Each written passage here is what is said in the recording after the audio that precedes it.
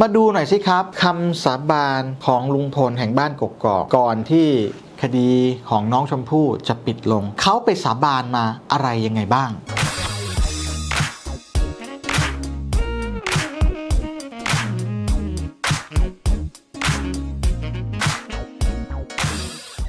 ครั้งที่1นงนะครับเนื่องจากว่าเขาสาบานบ่อยนะครั้งที่ 1 2 กรกฎาคมปี 63 ที่วัดธาตุพนมวรมหาวิหาร ไปสาบานว่างี้ หากข้าพเจ้ากระทำผิดต่อชมพู่จริง ขอให้ทำลายชีวิตของข้าพเจ้า และขอให้มีอันเป็นไปโดยเร็ววันเถิดครั้งที่ 1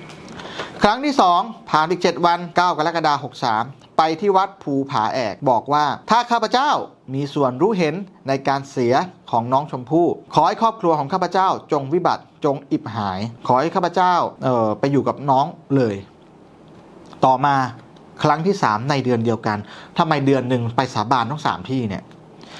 28 กรกฎาคม 63 ที่วัดภูผาแอกมาอีกรอบแล้วถ้าข้าพเจ้าไม่ได้มีส่วนรู้เห็นในการเสียไปของน้องชมพู่ ขอให้ครอบครัวของข้าพเจ้ามีความสุขความเจริญเนี่ยแหละครับ ย้อนรอยคำสาบานทั้ง 3 ของลุงพล สู่วันที่ลุงพลโดนสารพิพากษา